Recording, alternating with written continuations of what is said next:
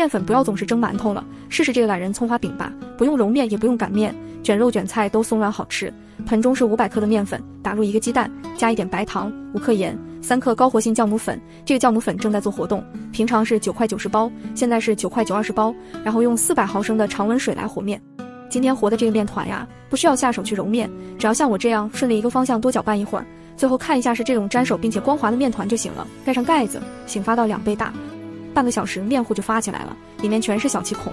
把切好的葱花倒进去，再用筷子搅一搅，排排里面的气泡，也能让葱花融入到面糊里面。接着在手上抹一些油防粘，直接揪出大小合适的一块，团圆一些，放进刷好油的电饼铛中，用手试探着给它按薄，像一张圆饼就可以了。选择大火烙饼，盖上盖子，可以防止水分流失，饼子也熟得快。一面上色翻个面，将另一面也烙至金黄，用铲子按压，立马回弹就可以出锅了。颜色金黄金黄的，特别诱人。这样做好的葱花饼又软又香。还不需要揉面和擀面，发面的更好消化，再加上喜欢吃的配菜，老美味了。喜欢的朋友可以收藏起来试做一下。